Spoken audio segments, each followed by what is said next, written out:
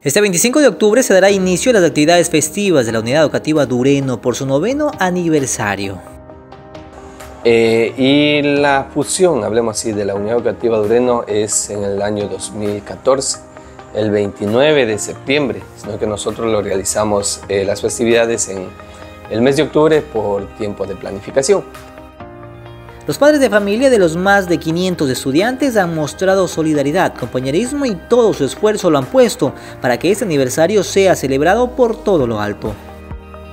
Primeramente yo ya voy eh, mejor a expresarles este sentimiento de felicitación a cada uno de los padres de familia por ya haber mostrado ese contingente ya en estas semanas de preparación que están con los estudiantes, con la finalidad de que estas actividades no solamente eh, sirvan como para observar, sino también eh, que se vean como un aprendizaje, ¿no es cierto? Hablemos en el rescate cultural, porque hay diferentes eh, ramas que aquí salen a flote.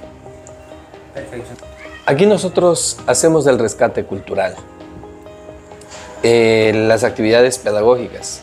Todo esto va enfocado a un aprendizaje porque esos son nuestros principios, más que todo estándares educativos que nosotros tenemos que desarrollarles eh, año tras año.